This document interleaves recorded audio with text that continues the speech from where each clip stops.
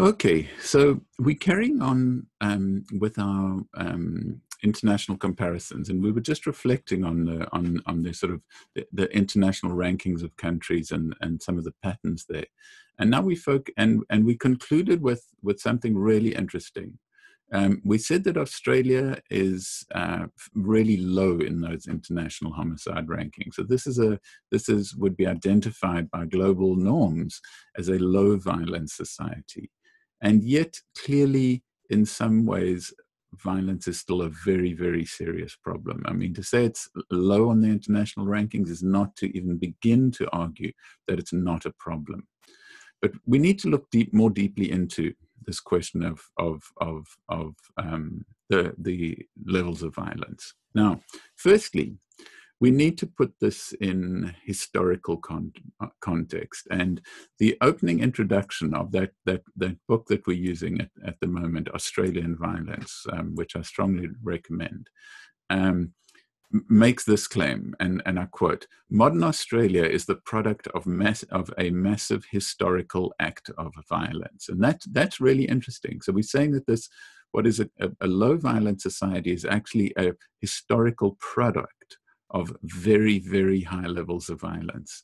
Um, and they two they two kind of main sort of streams of this kind of violence. The first is the violence of colonization. And, and, and Australia is by no means the only country characterized by a, um, a, a, history of, of, of co- colonial violence. And, and we need to understand that colonization, although it used to be often represented as this kind of benign um, uh, process, the way in which the sort of as the West grew sort of wiser and and and and more um, and more advanced, it spread out over the world, bringing um, you know science, civilization, modern medicine, economic development um, to to to other countries that that needed it. That story is a grotesque misrepresentation. Um, in fact, um, colonization tended to work by brute force um, the that that whole the, the whole era, the sort of 300 years of Western colonization, to a large extent depended on one very simple fact that the West developed many technologies, but one in particular, which was derived from from science from that that already existed um, much longer ago in places like China, um, things like um, the use of, of gunpowder. But what the West did is they, they used they used gunpowder for weapons, and they and they made guns, and um, the, the the the use of firearms gave the Western societies a fundamental military advantage for a certain period in history. And it was this military advantage that um, that enabled a lot of, of, of colonization to happen. And so colonization did literally happen through the barrel of a gun in most contexts, and it happened um, against people who, who, who couldn't defend themselves against that, that kind of military technology at the time. So, yes, um, colonization works precisely by seizing people's land, seizing the materials that are available, um, by brute force primarily. Um, uh, obviously, it plays out differently in different places, but this is the but but this is an underlying theme um, that if one if one looks into the history, um, the history of the, the, last several hundred years of Western colonialism is is first of all a history of violence, and this violence is perhaps shown nowhere more more starkly than in the practice of slavery. That link to colonialism was this massive um, sort of global system of slavery, not only the transatlantic slave trade, um, which the United States is so um, well known for, but, but around the rest of the world, uh, peoples were enslaved, including, despite recent denials by the Australian Prime Minister, um, um, slavery took place here, um, and and and and was an important part of the of of the colonial practice. Okay, but not only not only was there the the, the murder and dispossession um, uh, of uh, Aboriginal Australians. Um, but there was another element to colonial violence, and that was the fact that that that that, um, that the country was essentially a prison um, colony. Um, that that parts of Australia were the places where prisoners were sent, and so the violence of exile, incarceration, and forced labor um, of, the, of, of the colonial uh, settlers was also a huge part of of, of history. Um, so this is kind of double that that there's the, the colonial violence against um, indigenous people, but also the colonial violence of of um, the country as a, as a as a as a penal colony, as a place of of of, of brutal um, imprisonment, forced labor, incarceration. Okay, um, and they're two very good um, m- films that I encourage you to look at and compare and contrast because they give two different accounts of that history. Um, and they're both readily available. They're both um, local films. The one is called The Proposition, um, and the other is a recent award winning movie called Sweet Country. And I will give you links to both of those. Um, okay, but, but there we have this history of violence um, leading up to what is considered by global standards of a fairly low violence society. But it's more complicated than that. Yes, we can see, for instance, that in the last few decades, since, especially since the 1970s, um, very significant declines in, in homicide nationally. Um, but when we look closely at that decline, we also see that it's very, very uneven it's not just that homicide is deemed declining, it's that it's also shifting, that some, some groups of people are more vulnerable to violence than others. What's interesting at the same time is that some groups of people feel very vulnerable to violence.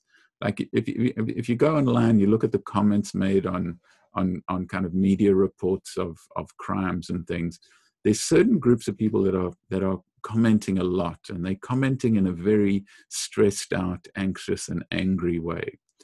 But what's interesting is when you look into who's commenting in the most agitated way about the risks of violence, strangely enough, it's very often the people who are least at risk themselves. Um, so, so although uh, uh, uh, the, the, so there's this unevenness. Some people are more at risk than others, but the extent to which people feel at risk and the extent to which they publicly express their anxieties about being at risk don't match what's actually going on. In fact, in a strange way, they, they're sometimes almost the opposite. So that's a thing that we're going to have to think about much more deeply is why is there this um, unevenness in the patterns of violence of who's vulnerable and who's not. And why is there this total lack of correlation, or perhaps even a negative correlation, um, between who feels worried about being a victim and who really is a victim in certain cases? Um, okay. Um, so the, this work, Australian Violence, uh, is a is, is a sort of updating of um, a, a, a, a really interesting major study that was conducted back in 1988. And it's an interesting study because it was really quite sort of world leading in the way in which it really critically thought about violence. It didn't just take like, oh, here's the stats, here's you know the the official criminal justice account of what's going on. It it got much deeper than that, and to and and and it's such a sort of a, a good and um, revealing analysis that it, it remains an important um, starting point for us today. The first thing they did, which we've already talked about, um, um, is they they took a broad rather than a narrow definition of violence. Now we've already said that that violence is always the definition is always kind of socially constructed. It always comes out of certain perspectives, comes out of certain societies. And they deliberately didn't take either the kind of the the the, the, the most kind of popular um, sort of idea of violence. Violence is murder, uh, violent street crime, uh, sexual assault. Um, and they and they said no, it's a lot of other things as well. And they and they introduced these terms which you're going to think about much more deeply in the course. They talk about um, expressive versus instrumental violence, which we which we mentioned before.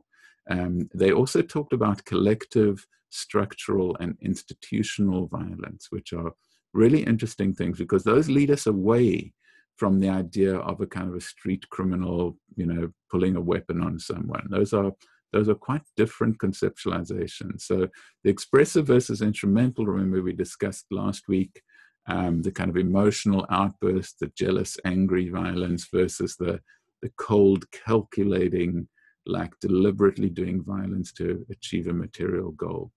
Um, they, they, they, they, they explore those two, but they explore these like institutional, collective, and structural notions of violence. So we're going to have to talk about what those mean. Um, and so, for instance, they, they go beyond the normal criminal justice definitions of, of, of, of violent crimes. And, and we're going to talk about that a little too. What is the relation between, between violence and, and, and crime? Are all forms of violence criminalized? Um, and, and, and, and that becomes a little more complicated, but, but that's not in this video. That's still to come. So they identify, you know, the obvious things like of terrorism. Yes, sure, we can all see that as a kind of violence, but but also looking at at, at, at the way kind of violence is is is is is is normal and regulated within sport. So um, you know, with with within uh, football and things like that, there there's certain kinds of violence that is not only allowed but is kind of pleasing to the audiences and actually you know makes people excited. But this but then it's carefully regulated in the other kinds of violence which which which which which are are, are then offenses and and um, which will you know result in in kind of formal punishments within the sport. So it's really interesting looking at at, at that as an example because there you see a really interesting thing that is much more common than than you might believe is the way in which not all violence is taken as bad some of it is thought of as good and then we have to do this weird kind of um, drawing a line of saying, well, that amount of violence is good, but whoa, whoa, whoa, that's bad. Like this kind of tackle, that's that's that that that's a real demonstration of kind of agility and bravery. But that kind of tackle is is is totally unacceptable. That that could have led to injury. Um, and and how exactly that balancing act between like oh we we kind of like this this bit of violence here, but whoa, whoa, whoa, that's overstepping the mark. Um, and, and, and, and, and, and in contact sports, we really see that as an issue. Um, so, so think about that. Think about how in, in things like contact sports, the line between acceptable and unacceptable violence or use of force plays out. Then they also said, look, there's not only, you know, the violence of criminals, um, uh, and, uh, and violence, violence that is not criminalized. There's also the violence by the state and by the enforcers of the law. And of course, this really jumps out as a, at us. 2020 was, uh, was, was in many ways the year of Black Lives Matter coming out of the United States, but also becoming a massive uh, social issue here. The idea that, that, in fact, in a country like the US, the police are not only um, functioning to prevent um, violence. They're not only functioning to ensure the safety of the public, they're also major perpetrators of violence, especially against vulnerable groups. So the way in which but the police, the criminal justice system can be perpetrators of violence, and certainly there's a long history um, of, of, of minorities suffering a kind of brutal end of criminal justice um, of um, indigenous people being massively disproportionately targeted by the criminal justice systems, um, ending up being um, being harassed, being um, imprisoned, and and and dying in custody at far higher rates than are proportional um, to the overall population. Um, so they so the, so that so they looked at that. They didn't just look at you know the sort of traditional notion of uh, uh, violent, violent criminals on the street, but also the violence of, of the society and the criminal justice system. But, but they took it even further than that, and, and we'll, we'll revisit this in more depth right at the end of the course. They actually looked at kind of social disadvantage and inequality in relation to justice. Um, and not only the way in which people are already socially disadvantaged, people from, from kind of racial minorities, gender minorities, often experience more violence than, than, than people from the, the, the, the, the sort of dominant groups in the society. Um, but also the way in which social disadvantage can even be thought of, that the, the mere fact of social disadvantage could be perhaps in some sense thought of as being violent. But we're going to talk about that much later in the course. Um, and this led them to to to to do to move away from the kind of everyday notion of violence. And this is what's so important: is that they, they start by saying, well, let's not just focus on the kind of the media, the media noise, the the media focus on these these big acts, these terrible homicides, these these these brutal um, rapes, um, and say, wait a minute, there's there's violence happening across different aspects of everyday life. Um, and some of it doesn't get into the media, and some of it doesn't even get into the criminal justice system. Um, and we need to look at that. Um, so, so both the kind of smaller kinds of violence and the bigger kinds of violence, the the violence that is not just a person attacking another, but but but that but but is the kind of violence that this, the society does to people in the way it's organized.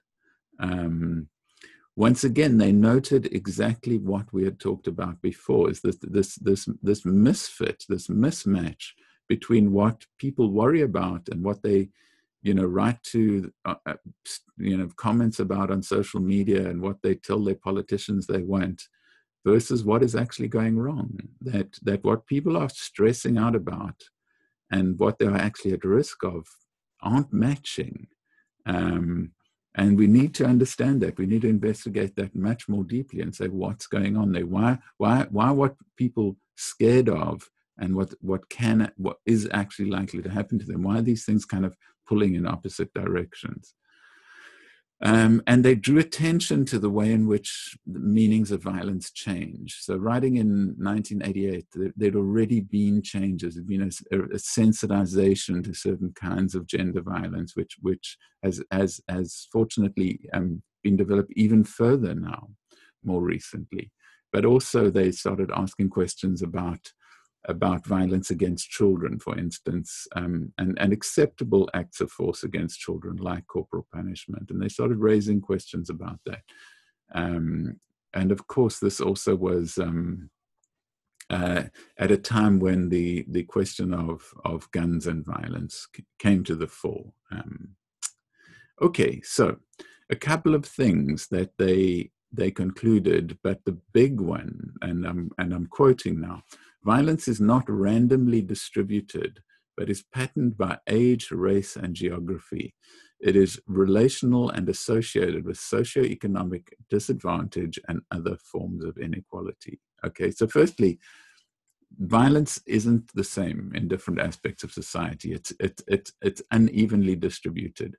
Um, firstly, by age, um, young adults um, young uh, children and young adults tend to actually be victims of violence much more than middle-aged people. Um, ethnic and racial minorities tend to be sub victims of violence more. Um, there's different violence in sort of rural and regional areas to in the cities. Um, but one of the strong things that it's connected to is socioeconomic disadvantage and other forms of inequality, such as um, you know citizenship versus uh, um, migrant status. Um, that each of those, like each each each form of kind of social disadvantage, seems to make people more vulnerable to violence um, um, than if they had been in a um, a more privileged position in society. Okay. And they drew a number of, of strong conclusions because the aim of this analysis was to to really pro- make a set of proposals. And unfortunately the, you know these proposals were reflected on but but but many of them weren't really followed through. Like somehow the the the real concern to solve the problem of violence you know it's so subject to sort of political um, blowings of the wind you know that that that that it's seen as a problem one day and not another. Different different sides of the political spectrum typically to approach the problem very differently.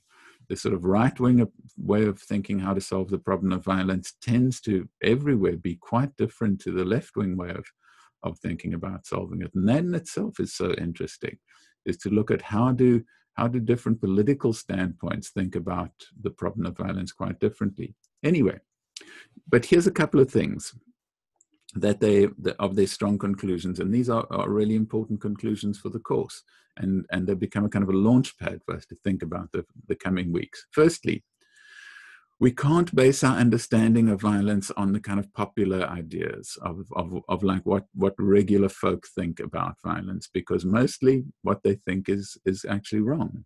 Um, uh, it needs to be based on actual research. It needs to be based on an, on, on evidence, investigations of what's really happening. What, what not what people are worrying about. Okay. Secondly, we've massively overinvested, and this was Gilligan's argument um, in how to think about violence, in, in, in, in an approach to violence that is about punishment. And we haven't really even begun to get deep enough into prevention as a, as, as a way of dealing with this problem. That the criminal justice approach is primarily a, a, a system of control and punishment and and and to a very small extent a system of prevention and, and it isn't necessarily appropriate structure if we're going to think about prevention. So the need to really focus on on on on what prevention would mean effectively. Um, third thing is the need to support um, vulnerable people and this includes supporting children and families that are at risk for various reasons and so to go in and look at the kind of social conditions that are precursors to violence and and the context in which people become at risk of being either perpetrators or victims. So they're um, really strengthening support to, fa- to, to, to families and children. Um, but further than that, to address two big, uh, several types of, of social equality. The first being gender inequality because of the strongly gendered nature of violence, that gender inequality needs to be addressed. The other thing is economic inequality needs to, to, to be addressed because economic vulnerability and vulnerability to violence seem to be very strongly correlated. Um, so this is now moving away very far from a purely criminal justice approach. I mean, this is a real kind of social, social transformational approach um, rather than just a punitive, controlling criminal justice approach. Um, and of course, questions of nationality, questions of race, questions of ethnicity, and addressing those inequalities. Um, and the other thing they pointed to is there needed to be a serious look at the underlying cultures of violence, the way in which the society accepts certain forms of violence and not just the not just the way in which we react to the ones that are criminalized, but the ones that the ones that aren't criminalized, the perhaps the, the, the, the, bullying, the ways of treating children, the ways of behaving in intimate relationships, um, those things, there's a lot of forms of violence that are actually kind of seen as socially acceptable. Men um, sort of getting drunk and getting into physical, uh, you know, fist fights with each other. These kinds of things that are that that that actually they they kind of dismissed as being yeah that's what people do, um, and and we need to look we need to look at those the, the, the cultures of violence, not just at the individual criminal acts. Um, so the the idea there is to um, to move away from these the, the, this like going after people who've broken the law and rather look at the the society the culture the system in which um, not only acts of violence but patterns of violence occur. um, and to think about that in a preventative rather than just a punitive way. Okay, having said that, um, I want to leave you with a kind of set of open-ended questions, serious questions that I want you to to to to really work on in in, in your own head. Um, the first, uh, and and so in the, the, these are listed in the last slide. The first is um, thing to do is try and make a list of things that could be considered violent crimes in the future, even though they aren't at the moment. Like, what kind of thing do we accept and think it, well, it might not be great, but it's not a crime, and the cops are not going to come if you do it. But in the future, that might change, and that thing may actually become a thing which you may end up being prosecuted for. Can you imagine anything that would fit into that kind of category? And what would it be? Um, second question. Okay, we respond to violence in various ways. We call the cops, we do whatever we do. Can you can you identify what responses to violence that we use already that are themselves violent in one way or another. And they might be violent in obvious ways, and they might be violent in, in kind of very subtle and perhaps controversial ways, which may not be sure are violent. But think about that. What kind of things, what, when do we react to, to violence with, with other things that could also be thought of as violent responses? Um, you know, and there's there's there's some obvious examples like oh, if someone tries to to punch you and you punch them, you know, that's responding to. But there, there, there's also much more interesting, much more subtle examples that that that I want you to try and imagine. Having done that, then try and think of um, possible responses to violence that aren't violent. Like, what does it mean to, to go into a situation where there is violence or threat of violence and respond in a non violent way? Can you think of existing examples of that? And can you imagine perhaps examples that don't yet exist but could? So, think about that. Um, and the final one, um, the, our little fourth uh, little thought experiment is can you imagine uh, responses to violence that aren't punitive but are preventative. What does it mean to th- think of a particular type of violence and think about how to prevent it rather than to punish it? And what do you come up with there? Having suggested those four little thought experiments, I, I, then want to leave you with a, a, a, big question, which I'm going to talk about a little bit in the, in the next video. And that is something I really noticed looking at social media and looking at the kind of political debates and things people get upset about is a lot of people really worry about certain kinds of violence, but the responses that they typically propose are, are punitive. They are angry about things that are happening, and what they want is they want the cops to come in, they want the cops to be you know more severe in their interventions. They want the issuing of longer sentences. They want pr- prison conditions to be harsher.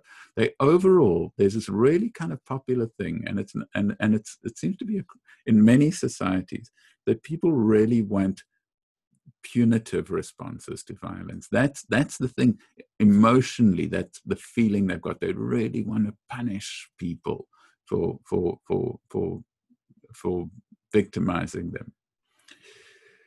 And why is that? Why, when, pe- when most people think about responding to violence, do they think punitively? And, and, and see what you can come up with in answering that question. So that's given you a lot to, to think about. So spend some time with those questions because thinking about those questions will really kind of open a space for you to understand the kind of discussions we're going to have in the next few weeks.